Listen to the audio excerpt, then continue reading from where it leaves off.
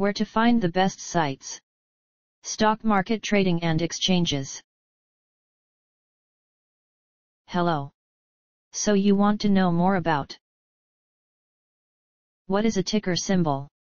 These selected resources on the web might help you. The most helpful site to learn about what is a ticker symbol is beginnersinvest.about.com. Specifically the page titled What is a ticker symbol? About. This is the link.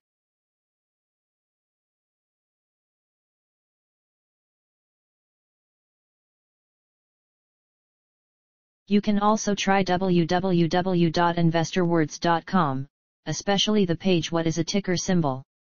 Definition and meaning. Here's the link.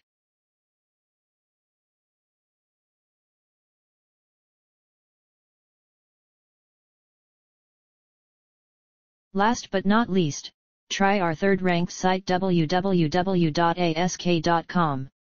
The web page What is Subway's ticker symbol? ask.com. Here's the link.